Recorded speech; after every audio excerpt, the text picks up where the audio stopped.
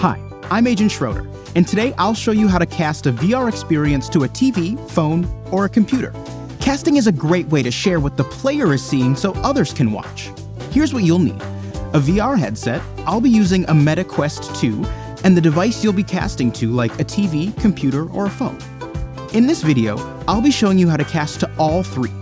For the TV portion, I'll be using the Google Chromecast with Google TV that I have already set up. For the phone, I'll be using the Google Pixel 6 which already has the Oculus app installed and configured. And lastly, for the computer portion, I'll be using the Lenovo Yoga 7i with Windows 11. If you want to skip to a certain section, you can use the links below. So that's what I'll be using today. The steps might be a little different depending on your devices. One quick call out, MetaQuest 2 used to be called Oculus Quest 2. Some of the apps and sites still use the Oculus name, so don't let that confuse you. This might change in the future, so if you're watching this later, and it has, you'll know why. Alright, before we get started, your Quest 2 will need to already be set up. If you need help doing that, check out our video in the description. Then make sure all of your devices are on the same Wi-Fi network. All set? Let's jump into it. First, let's talk about how to cast to a TV. This is great for when you'd like others to be able to watch what's on screen in the headset, you can cast to your TV if it has Chromecast built in, or in my case, has a Google Chromecast connected to it. First, I'll select the right HDMI input, meaning the one my Google Chromecast is connected to. Next, get your MetaQuest 2 situated comfortably on your head, grab your controllers, and turn it on.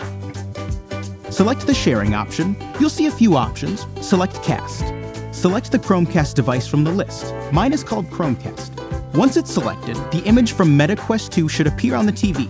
Now, even a room of people can watch. Pretty cool, right? Alright, now let's talk about casting to a phone. Have the person who will be watching from their phone launch the Oculus app, then put on the headset and power it up. Once it's powered up, you might need to press the Oculus button on the right touch controller. This will bring up the menu. Go to the same sharing option and select the cast option again. Then choose the option for the Oculus app and then select Next.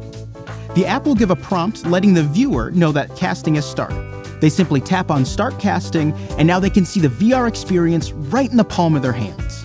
In your VR view, you will see a confirmation message letting you know that you're casting.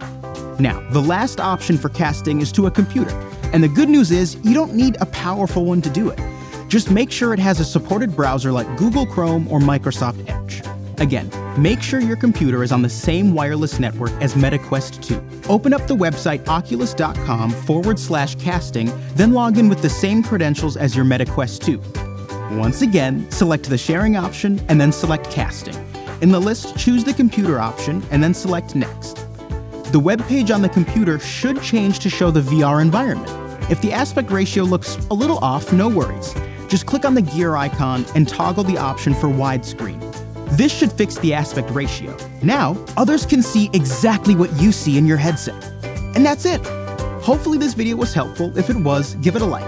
If you have any questions, leave them in the comments below, and don't forget to subscribe to our channel for more tech tips from Best Buy. Thanks for watching.